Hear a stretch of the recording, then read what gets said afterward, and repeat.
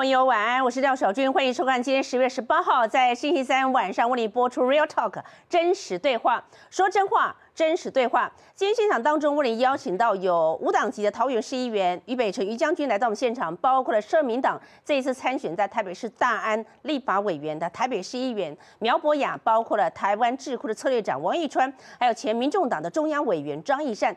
包括了曾经担任过两岸政策协会的理事长呢谭耀南，还有一个特别来宾呢，他今天来到我们现场，我们稍后为您介绍，他是大甲镇南宫的信徒代表易景龙易大哥，我们稍后请他那么站上挑战台。为什么？首先站上挑战台，你会想的是，身为大甲镇南宫的信徒代表易景龙大哥，今天为我们分析什么？的确，你一定想到。中二选区的最新的一个发展。不过今天一开始，我们可能要针对的是台积电，为什么呢？呃，台积电已经宣布，他们本来规划在竹科的龙潭园区，呃，三期新建一点四纳米的这个制程的晶圆呢，呃，遭到居民抗议之后呢，已经宣布要放弃在这个地方的建厂计划了。我们稍后来讨论，这个意味着什么？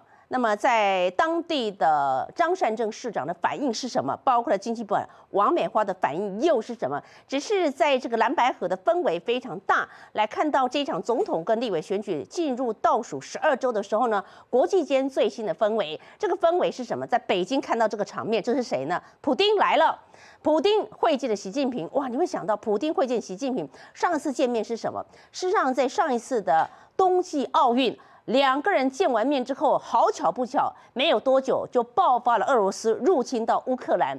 而好巧不巧的是，在今年的杭州亚运当中呢，我们也看到了习近平会见了谁呢？这个场合，当然就现在北京正在发展的习近平，在这个地方会见了他的好朋友俄罗斯的普京。我说，就爆发了俄乌战争，随即就看到了俄罗斯入侵到乌克兰。而今年的杭州亚运呢，当我们看到习近平以大规格进入红地毯的方式欢迎来自于叙利亚的阿塞德时，你会觉得哇，为什么？何以叙利亚的阿塞德可以获得如此非常高规格的一个待遇？怎么这么巧呢？没有多久就爆发了。巴勒斯坦的激进组织哈马斯进攻到以色列，当然叙利亚也参与开了，包括了黎巴嫩的真主党。而现在在北京，当时看到戒备森严的普丁跟习近平见面，同时让人联想到怎么样会发生大事吗？这是发生在哪里呢？台海吗？还是南北韩之间？因为这一场见面之后呢？或者是在以色列遭受到哈马斯攻击之后，我们看到在南韩的尹锡悦立刻召开了国安会议。好，从整体的局势当中，我们一一为您解析。怎么样来看，在国际间所发生大事，当然倒数十二周，台湾的总统跟立委选举呈现什么样的氛围？南白如果合不了的话，代表的是什么？未来的国民党会更加团结吗？已经选择要放弃柯文哲这张牌吗？来，首先我们掌声欢迎，这是于将军来到我们现场。于将军晚安，小军好，各位观众好。我们欢迎阿苗，小军好，大家好。谢谢苗博雅。在这一次赖副总统七十三区域选举当中，来到了台北市大安区，有看到盛况吗？这次阿苗要挑战这个罗志强，强棒对强棒，现在胜负难料。来，继续掌声欢迎王一川。大家好。谢谢一川，包括了张一善。大家好。好久不见的易善，以及谭老师。哎，大家好，大家好。好，接下来今天特别来宾正式要邀请的是易景龙大哥来，易大哥晚安。这个讲台是属于现场所有来宾每个人哈，好久不见的易大哥。呃，不过今天节目一开始当中，我想为什么？为什么台积电在这个选择在龙潭新建一点四纳米的这个制成的晶圆厂，后来决定要放弃呢？放弃这个建厂计划。呃，经济部长王美花即将来到 Real Talk。呃，王美花部长他在十七号，等于在呃礼拜二在立法院当中被问到这个问题，他说呢，台积电。未来如果有扩厂需要的话，政府一定会全力来协助，也会寻找土地，包括水电的部分来全力配合。这是因为台积电在昨天十七号，他们正式发出声明之后说呢，现阶段条件的状况之下，不再考虑要进入到龙潭园区的三期了。那么桃园市政府也做出了一些回应啊。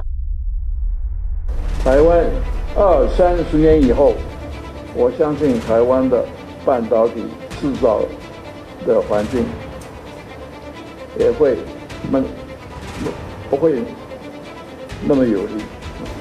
日本我觉得比较理想的一个土地水电比较充裕。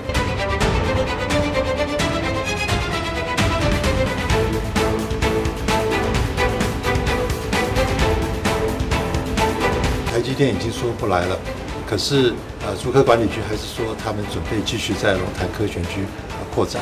我们将来会积极配合我们呃新竹科学区。我呼吁所有的政治人物，产业发展是一个国家长远发展大计，非常严肃的课题。要沦落到政治口水，这是非常非常糟糕的事情。尤其苏贞昌前院长，我呼吁你，我以一个前院长呼吁另一个院长，我们应该发挥院长的高度，以国家产业的发展为重点，不要流于政治口水。来，我们先欢迎一下于将军，对这个部分有他精辟的一个论述。来，于将军，请来。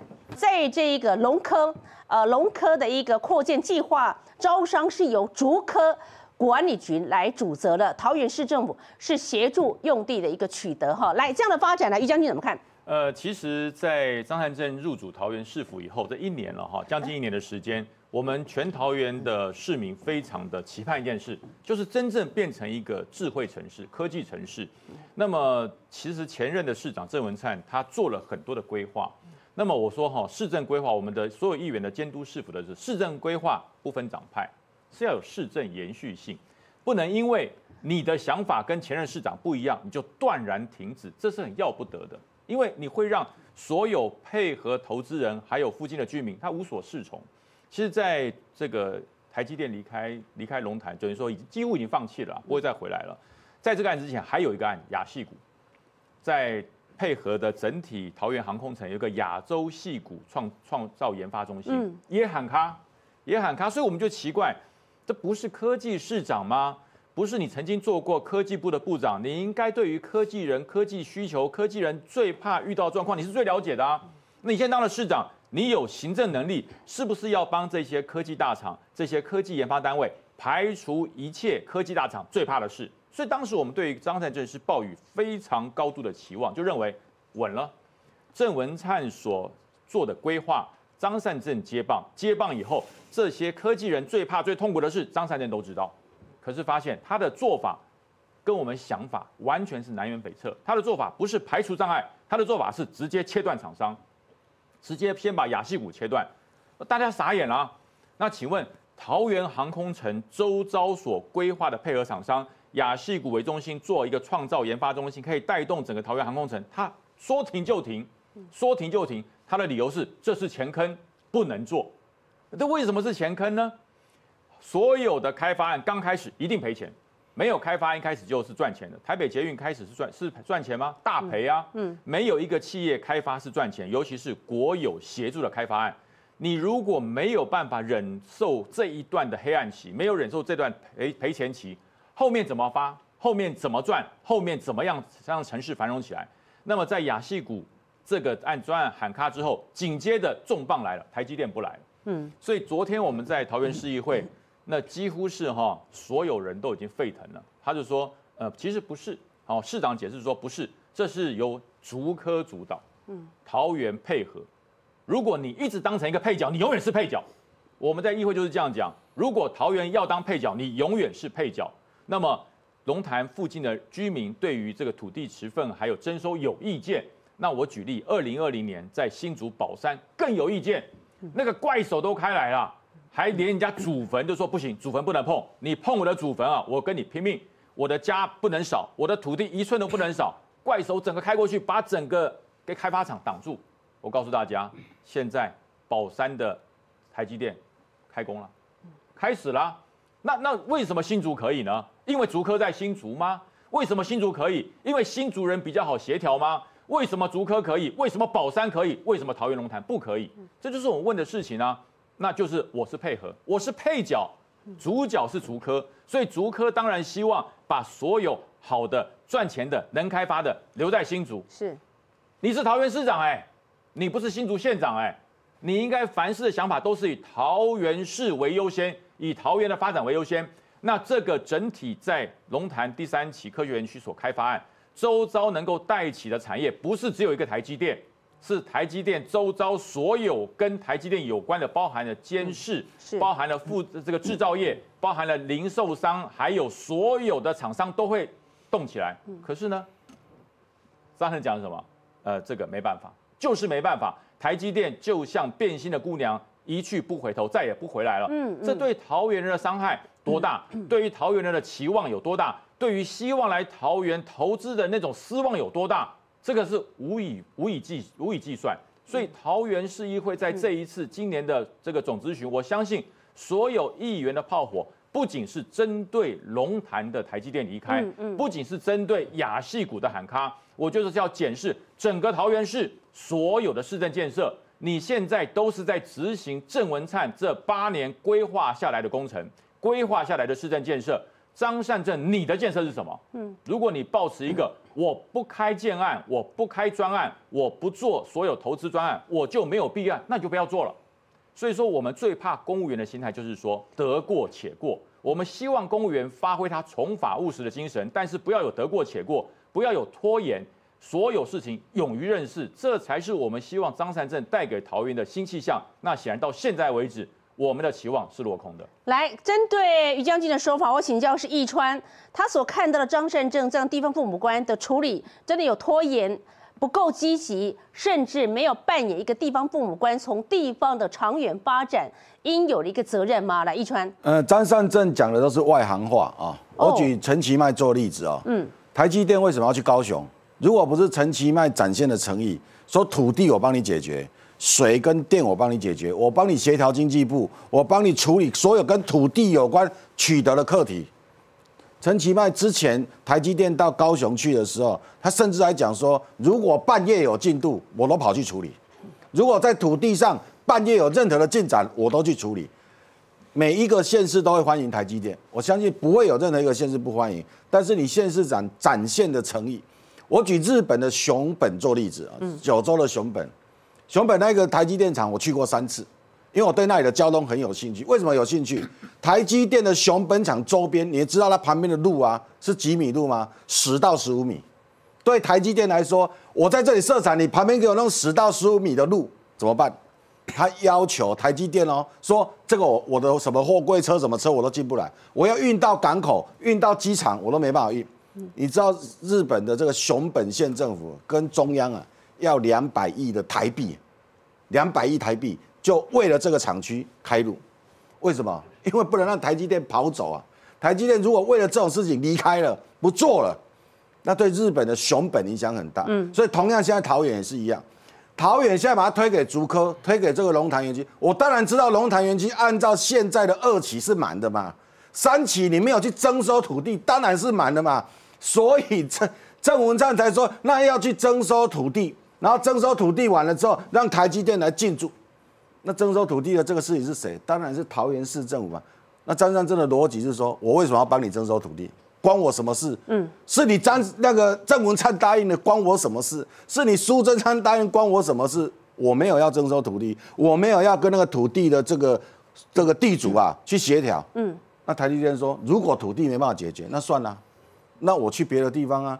台积电从不要高雄、台南、新竹，高包括将军刚刚讲的宝山，人家现在还想要到，比如到头份、竹科的这种园区，每个人都想要争取。哎，龙潭的山景，各位知道，张善政的第一份工作就在那里。哎，宏基就在龙潭的那个宏基渴望园区。哎，嗯，他对那里太了解了。是那所以他应该极力的去争取，站在一个桃园市长的角度，去把台积电留下来。台积电要什么条件，市政府能答应的，就拜托议会支持，就答应了嘛。我再举刚刚讲那个亚细股的案子，亚细股的那一个案子，就是我在当桃园航空城董事长的时候，我最后规划的，前面已经规划一段了，轮到我规划，那是一个什么地方？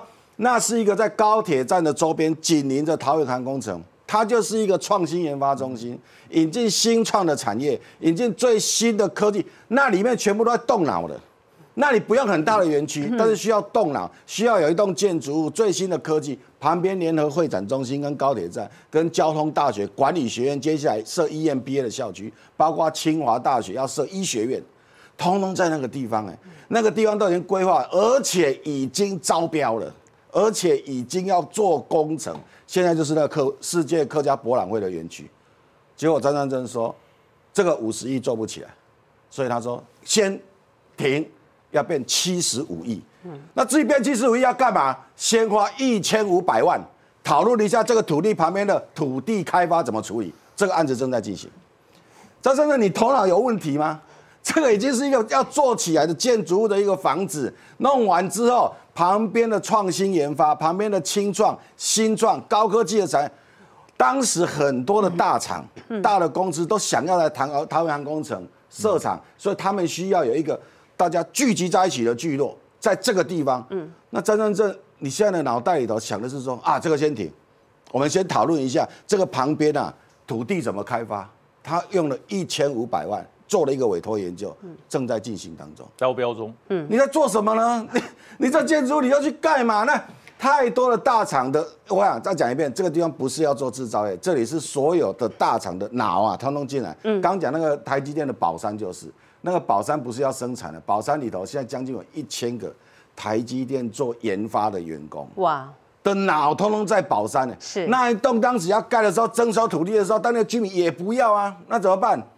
怎么办？当你当一个县市长，你就去协调嘛，协调让台积电设厂。你知道那一千个有脑的台积电工程师跟主管会带来多少的就业机会？是我我觉得最后一句句话是非常非常关键的。从一个都市一个区域的长期发展来讲，老师很怪哎。如果张善政本身对于龙潭这个地方他又不熟悉，还是过去他曾经上班的地方，身为一个科技人，你从龙潭当地来看，刚刚你举的是高雄市怎么样去面对高雄市谈的是当时怎么去面对台积电的一个进驻呢？五缺的问题，人才、工人、水电跟土地，不管那个时候，呃，赖清德在当行政院长。或者在当时陈其迈在担任高雄市长的时候呢，台积电进驻到高雄的时候呢，他们几乎是以请全部之力。为什么？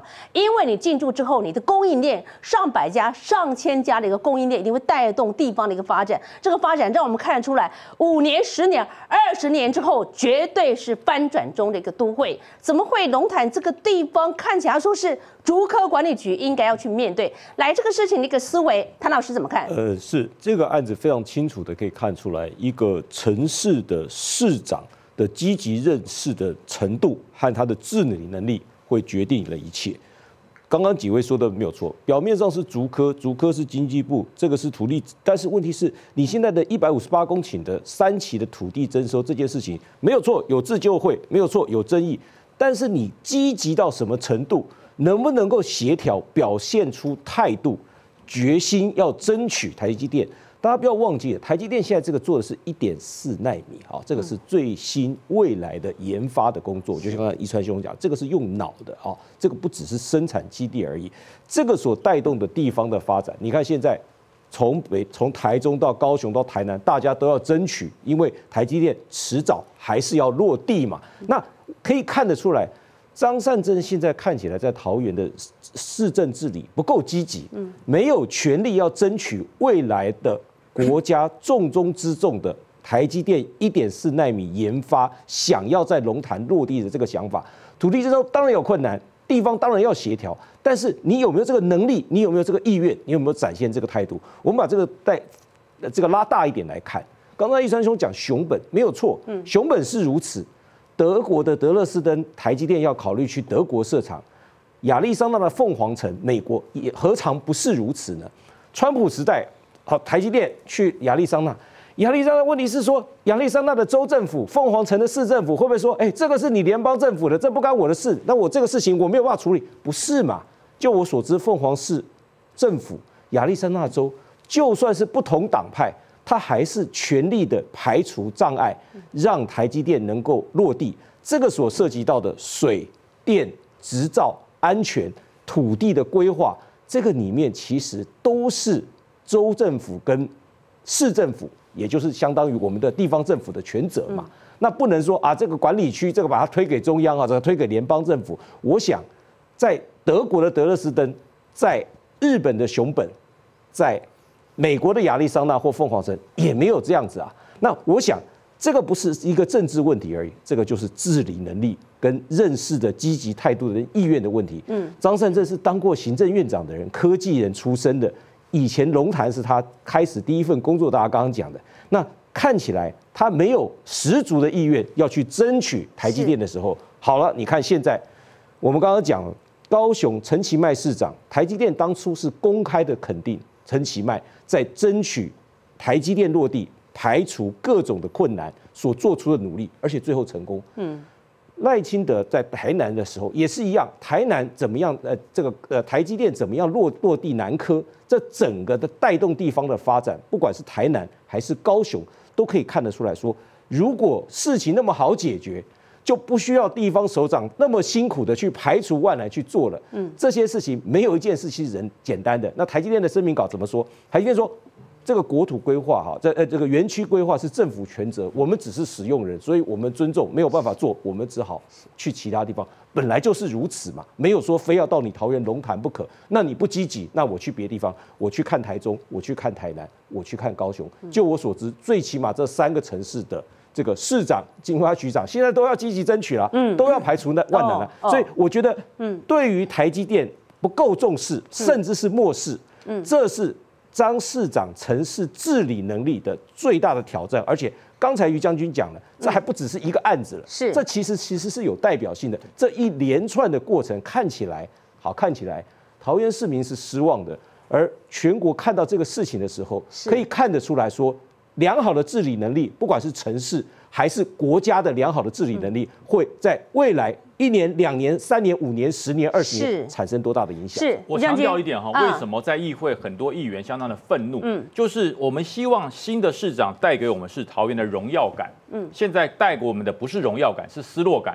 为什么这么讲？因为台积电讲得非常明白，他说我们是企业承租户。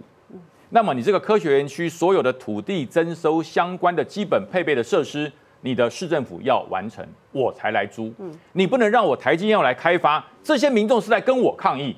我是承租户，哎，我不是地主，哎，地主是桃园市政府。你桃园市政府没有把这些征收案把它解决，你到了后面你说不行，不行，我当然离开，因为我是一个企业承租户，我不会去租一个有争议的土地，让我投资这么多的钱在这边做厂房，开始做制造之后，我天天被抗议，我天天被围场，那谁愿意？所以他当然会跑掉啊。那么那当然有一些呃人就放出耳语说没有，这台积电哈根本没有想来桃园设厂，那只是当时一个选举的一个噱头而已。那我我就反驳他们，我说不对，即使是噱头，你是市长，你都要让它变成真的。嗯，这才叫有本事啊！你不能说哎呀，他根本没有想来嘛，当时只是为了选举嘛，丢出个利多而已啊。现在选举结束了，就让他尘归尘，土归土，那要你市长干什么？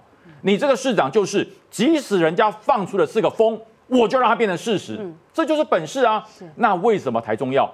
为什么台南要？为什么高雄要？高雄、台中、台南，它的基础建设，它的人才难道比桃园多吗？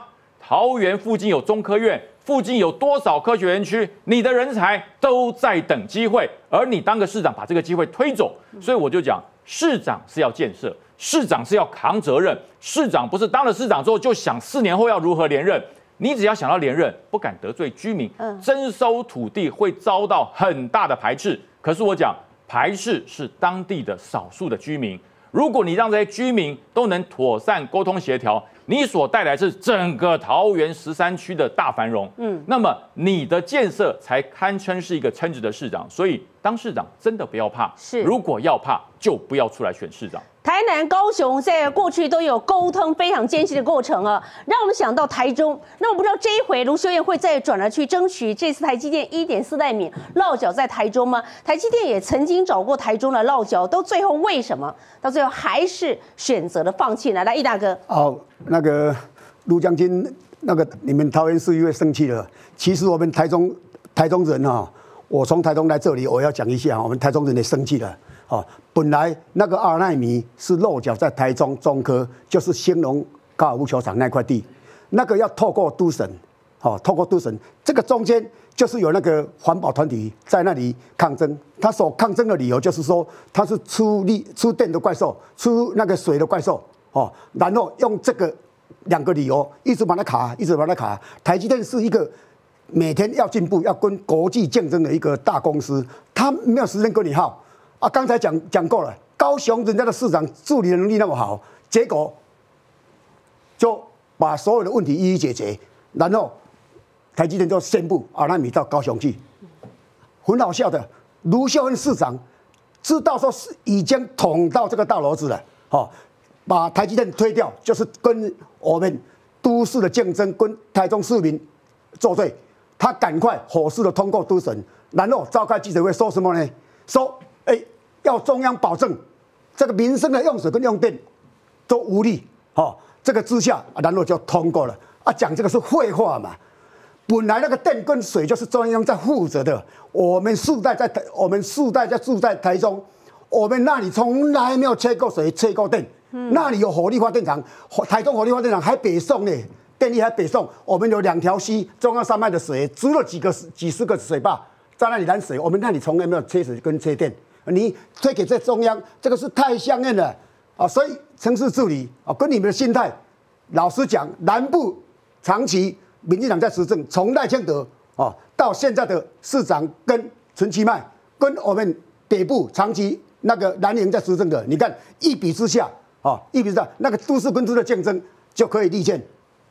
是，呃，从台中非常深刻的一个发展哈，我相信对易大哥如今看到了，呃，在扩厂的部分呢，王美花都说土地要帮到底了哈。那国科院有点的点名的四大园区来，易善大哥来请来，为什么现在国科会呢点出四大园区是不是都 OK？也就是说有四个地方有可能都符合现阶段条件，那问题是桃园市政府，你真的决定不留了吗？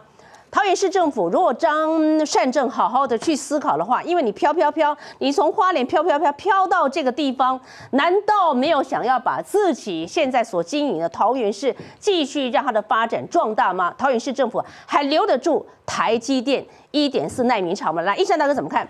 对，我要讲的是台积电是一个国际企业，所以不要把台积电设厂的地点的争取。当成是好像选举议题，他会配合你。郑文灿跟所谓当初苏贞昌院长争取来，台积电也做过审慎的一个规划跟评估嘛。为什么他们希望在龙潭？第一个有产业链的优势嘛。我们整个竹科也好，到所谓的台北这边整个工业区，它是一个台湾的科技的戏骨嘛。它是非常的多的工业链，这个产业链都在这边。对于台积电要发展最先进的制程来讲，这些厂商的意见，它可以汇集到这个桃园。的龙潭园区嘛，第二点叫管理上面优势嘛。为什么龙潭园区的一起，除了有宏基之外，台积电也在那边嘛，所以它本身就有它所谓的管理的优势在那边。第三个叫做生活机能的优势嘛，因为我们知道刚才有讲过，有一千个都是用头脑的，用头脑。有说说真的，南部当然像今天屏东也在争取啊。如果说你叫这些用头脑的去屏东，他每天去垦丁吗？不是嘛，他们希望好的生活机能，而好的生活机能，新竹跟台北当然在。桃园这个中间地点，他们往新竹也方便，往台北也方便嘛，所以龙潭园区一定在台积电的考虑里面是最优选的选区嘛，这是第一个。第二个就是说，你不要把所谓的地方跟中央画的那么清楚，而且唯一不能画的就是你张善政，因为全台湾的县市长唯一做过行政院长就你张善政嘛，所以你不可能说你把责任推给中央之后，推给竹科管理局之后，好像没有你的事情一样。你做一个县市长，你本身又是科技人，本身又担任过行政院长。本来全全部的桃园市民最期待你可以解决这些问题嘛，结果我发现一件事情，原来他不去处理最重要原因，他跟台桃园的地方完全不熟。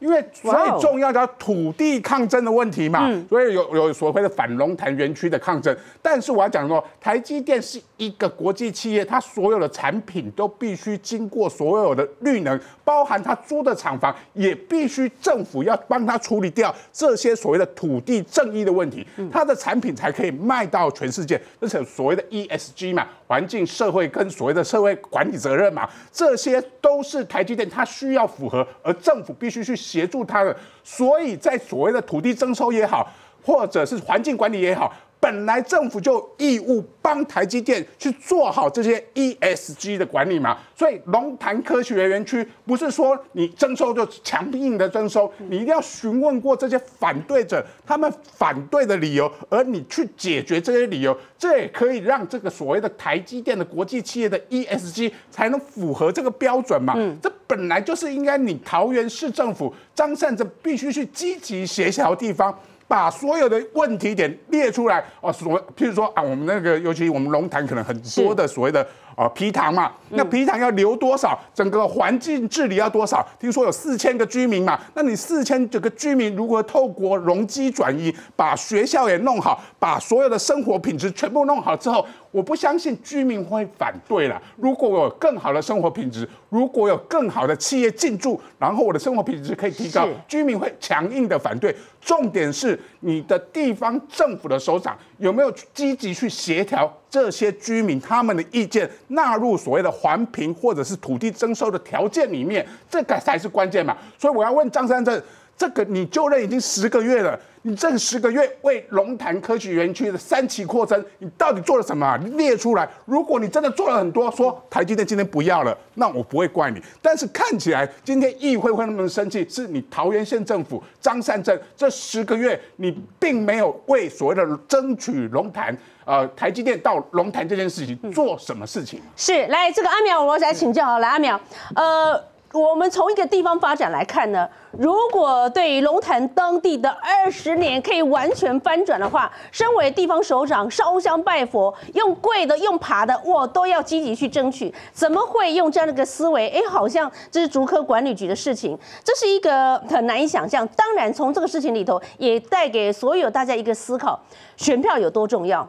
当你选对地方首长的时候，你所处的环境的确就不一样了。来，阿苗怎么看这个形势发展？这个过去六七年间，哈，嗯，我想蓝营的人很看不起这个民进党执政的经济成绩啦，哦，经常在抱怨说啊，这各种经济不好啊，投资不好。但事实上，在过去的这七年间，哈，关于台商回来台湾，好，其实有非常大的投资，嗯，然后关于呢。这个所谓台商回流，它不是只有钱回来，也包括工作机会、就业机会也回来。好，所以呢，这个我们的失业率在今年已经降到好近年来最低的程度。然后呢，我们的这个外商台商来投资，其实数字也不断在攀高。但在国民党眼中，好像一直觉得说这些都只是数字，都很容易。终这一次张善政遇到的事情，才终于显示出来说。要促进这些投资有多不容易，我不会去讲说居民的抗争一定都没有道理，我也不会去讲说政府要征收你就一定要给他征收，因为我们是民主国家，我们不像对面共产党啊，政府说哦我现在要干嘛，你地就要给我，没有这个有民主国家的民主程序，而且我们要尊重居民的私人财产权。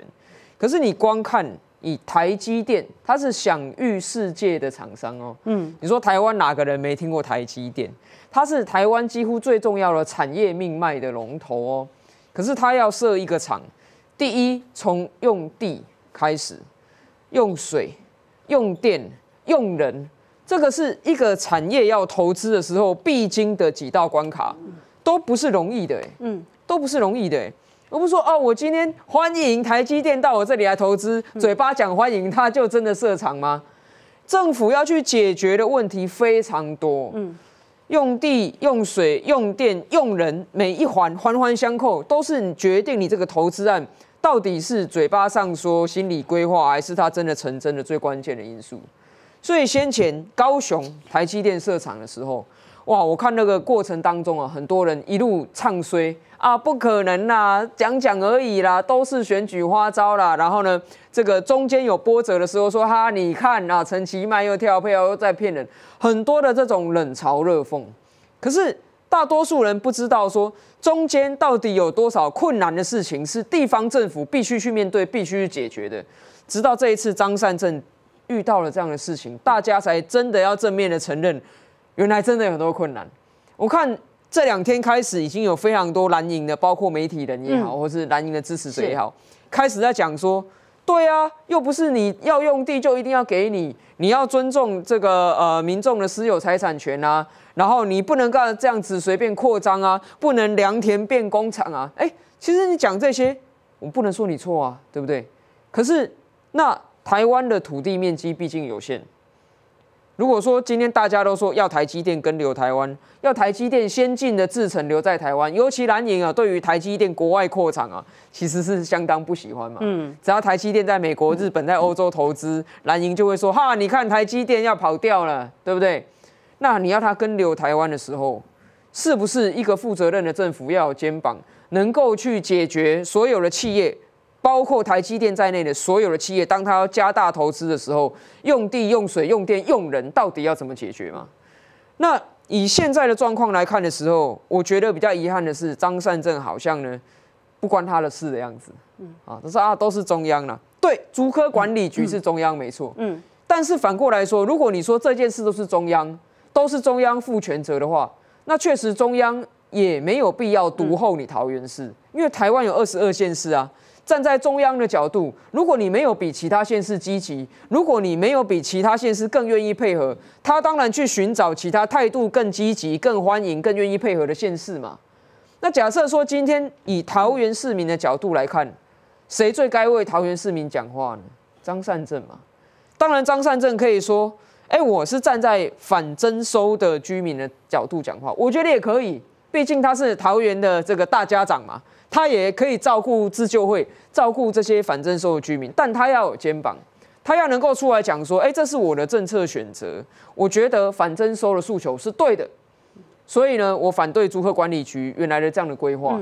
那如果竹科管理局他放弃了这样规划，或者是这次是台积电主动宣布啊，因为台积电是在跟竹科管理局和自救会开会之后，台积电自己考虑，他说，哦，那不然我们找别的地方好了，那这个。龙潭三期就暂不列入考虑，就不列入考虑，不再考虑啊，不再列入了哦，不再列入了。嗯，那在这样的情况之下，张善政，你要为你的政治选择跟政治判断承担责任啊，不能说只有好的才是你啊。台积电如果来了，这是我的政绩；台积电如果没来，都是中央的问题，不能这样子。当今天像是高雄，像是台南，当他选择要促成台积电进驻的时候，如果他遇到了地方上抗争的声浪。地方的政府要承担责任，这是他的选择。他为了招商引资，所以他在地方上得罪了选民。反过来说，张善政，你要照顾自救会的时候，你也要为了今天桃园市民跟你反映说，那我们期待的产业发展如何来达成？你也要提出解决方案呢。重点就是你已经选上了，你不能够再把你自己当成一个路人。是啊，你不能够说啊，这又高阿伯抵呆啊，这个计划是前任的时候提出的啊，现在是中央处理的。那如果是这样子的话，桃园市长以后要不要改成行政院指派就好？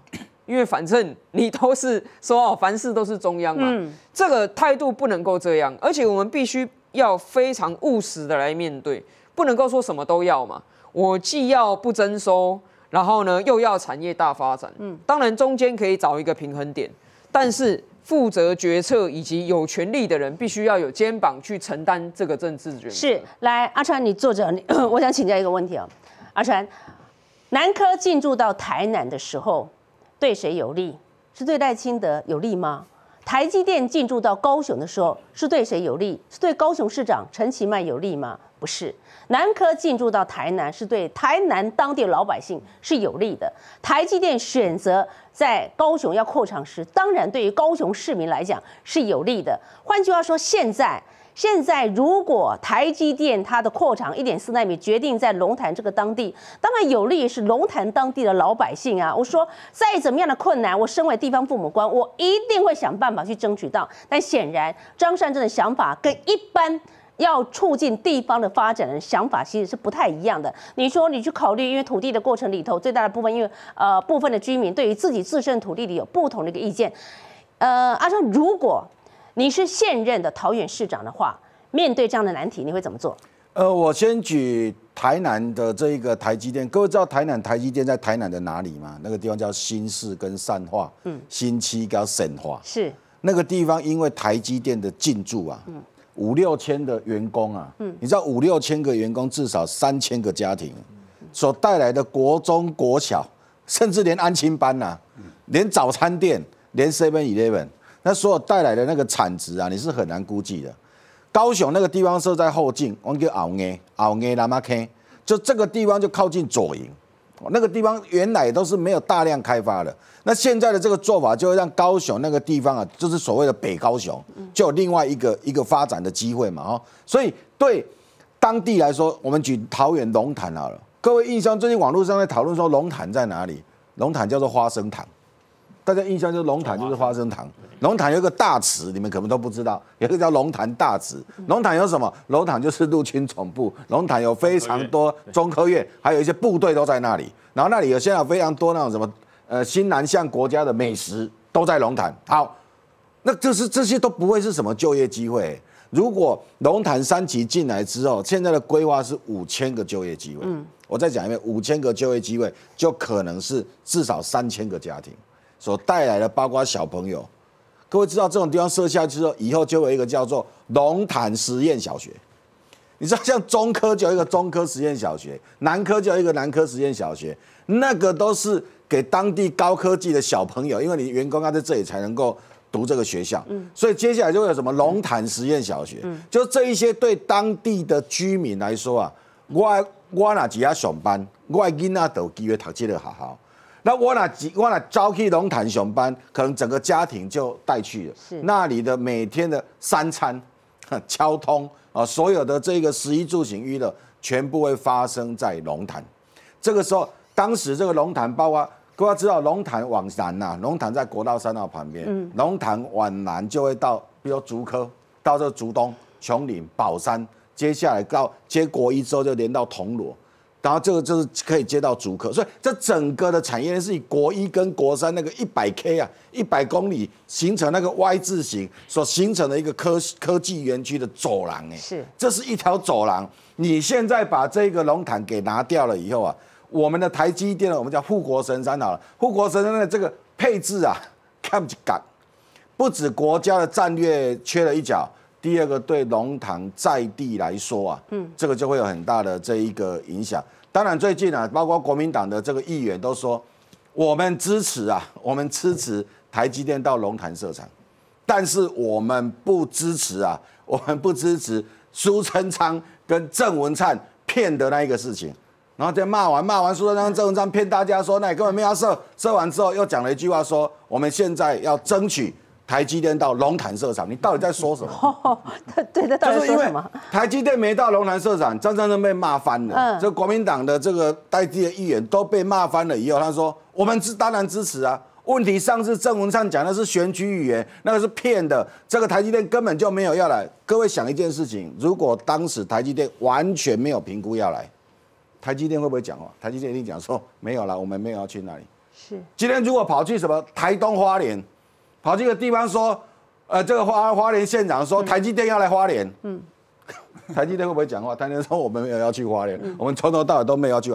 代表龙台的这件事情，台积电曾经评估过嘛？台积电曾在他的计划里头出现过，否则办任何的说明，因为台积电不会出现嘛。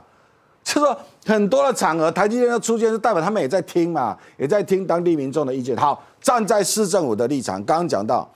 如果这个事情成了，嗯，人家以后的新闻呐，背后的报道都会写说，各位知道龙潭台积电设厂背后的重要推手是谁吗？人家就会写张三正的，为什么？因为就会写说，原来是张三正去协调土地，原来是这个土地很难征收，百分之八十私人的土地，张三正当桃园市长以后，他积极的协调，台积电最后进驻了。我是说，如果台积电当时选呃张三正选择支持。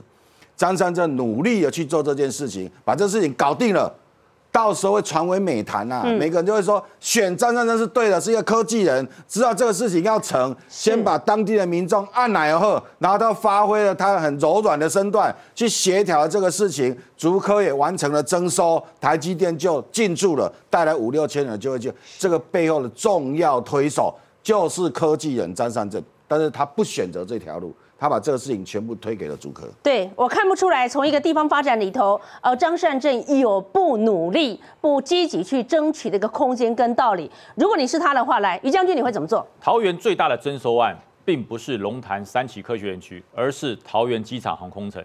那个是有中华民国在台湾经营以来史上最大的征收案。为什么做成功了？为什么做成功了？征收案会不会有抱怨？会有抱怨，但是你要以全桃园市甚至全国的利益为利益，你这样考量，这些人你就是第一个沟通协调。补偿安抚就是这样子，你要做的非常的周到。那么对于龙潭，比起桃园航空城，那小巫见大巫啊。龙潭这些第三季的科学园区，一百五十户，充其量四千人。那这些人跟整个龙潭平镇周遭八德的大发展，那是几十万人的利益哎，是，那是几十万人的未来。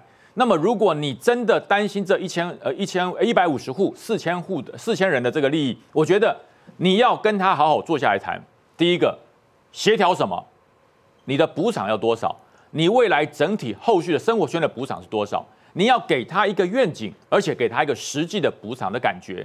这些人他不是不能谈的，他是可以谈的。他为什么要出来抗议、出来陈抗？他希望获得更好的补偿，他希望获得更好的安置。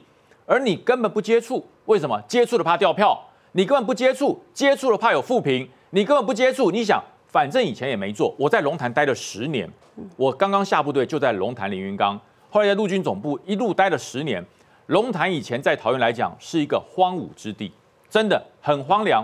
到了晚上我们下班要休假的时候出来，连车都拦不到。嗯，龙潭的进步远远落后于桃园、中立，甚至于巴德。是为什么？就是一直不被重视。你龙潭刚才易川兄讲了，只有花生糖，只有名产，只有大庙前面的热炒。那个是带不起来整体龙潭的繁荣。那如果有一个世界等级的高科技厂进驻，你所带来的不只是钱而已哦，不只是工业发展而已哦，人都带进来了。是，因为会吸引很多的家庭进驻龙潭。龙潭周边的大建设，包含了巴德，包含了平镇，那是全部跟着水涨水涨水涨船高，不会再独厚于桃园跟中立。我觉得一个市长，你要让整个桃园市均衡的发展。减少这个桃园市各个区的差异，是你才会有整体的建设。被骂当然，但是当你做好以后，那种掌声就好像当年的黄大洲要把中华商场拆掉一样。那中华商场拆掉，那被骂翻了，甚至他的都选都选不上。可是你现在看看现在的中华路，你看看现在的台北市容，一个有远见的市长，他不怕挨骂；是一个有远见的市长，他不是为了要下次当选。而是要为这个城市留下千秋万世的规划，是不只是为了选票，更应该考量到地方的发展。更何况这个应该是有选票了。来，一善，对我要讲说，地方政府有很多政策工具，人很多人说啊，征收要很多钱，其实不一定要用到钱。我就要问张善政，他的土地征收有各种的方法，包含土地重划，你开了都必须经过所谓的都市计划委员会。你为了龙潭科学园区这件事情，你开了多少次的都市计划委员会？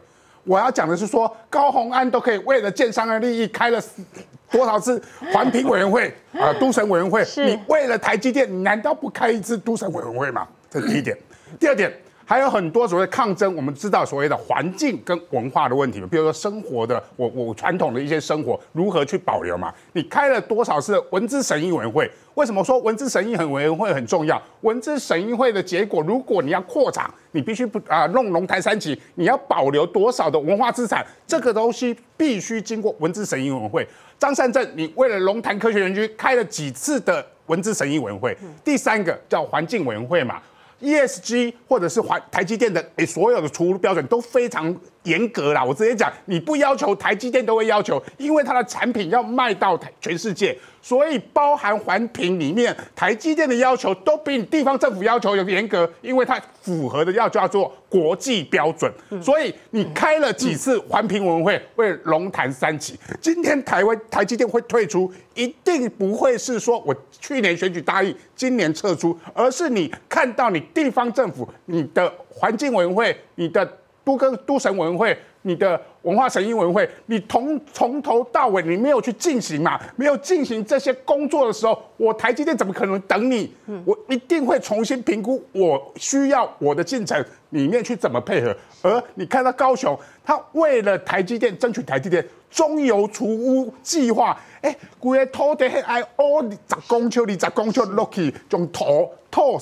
贴出来，谁谁料都坑的原因呢？这个是多大的工程？而台积电的要为什么台积电他们要做这件事情？因为这叫台积电要求，因为台积电包含它的所有的制程，它生产的产品都必须符合世界严格的标准。你地方政府不做，我就撤出了，我就不出不去去盖厂了。所以高雄市政府才为了台积电进驻，去处理整个中油土地的储物计划。这个是地方政府必须花预算，而中央愿不愿意出？中央当然愿意出嘛，因为这个东西是为了台湾整体产值的发展，它最后回馈叫做中央的所谓的呃税金嘛，税金出来本来就是要做这个所谓产业发展的一个重要的关键。是，呃，开过多少呃相关的一个专案会议？我不知道张善政有没有去跟比如说呃陈其迈。甚至现在副总统赖清德或者是黄伟哲去请益过，当年台积电要进驻到高雄时，很多人说万万不可能。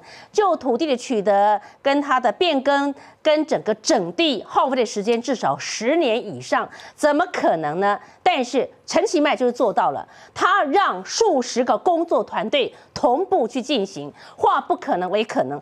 这个就是地方首长基于当地居民利益所展开的一个决心。那为什么呢？像下一次当中，我们要邀请是经济部长王美花来到我们现场，我们要仔细了解，因为他立法院他也关心这个事情。他说，半导体的先进制程，现在对于台湾来讲，已经是台湾在世界上呢占有非常重要地位的关键因素之一，也是因为台湾。非常呃重要的一个产业之一，因为台积电不断去推进它的先进制程，让国内或者是国际大厂来台纷纷来投资设备，包括像是材料等等，形成是全球最完整的一个供应链。当然。这个是一个可以看得出来，台湾因为台积电在全世界地位不太一样了。最近跟这个陈其迈在碰面的过程当中，他非常感慨，他说呢，他常年往返在世界各国，而在这一年当中，他前往了世界各国当中，尤其到了日本，尤其到了熊本，让他深刻感受到，哇，过去呢，在日本当地的产业跟官方对台湾呢，不至于说不理不睬，但是呢，就是还好。都是安呢，没有非常积极作为。现在的陈其迈身为高雄市长，前往日本、前往熊本之后，受到了空前的礼遇，令他惊呼连连。这个就是台湾。而现在的台积电所做的一个决定，决定要撤出了。张善政留得住吗？留得住他吗？如果在国内现在有四个地方积极在争取。谁到最后可能会确评中选呢？来，我们持续关注 Real Talk，也非常谢谢各位。我们持续要关注的是，如果如果同样的生态改变，在台湾有一个在过去补选当中成为全国瞩目的焦点——中二选区。中二选区如果有严家在这个关键性的立委席次拿到的话，那么这个地方的生态跟地方建设会怎么去发展呢？持续锁定 Real Talk。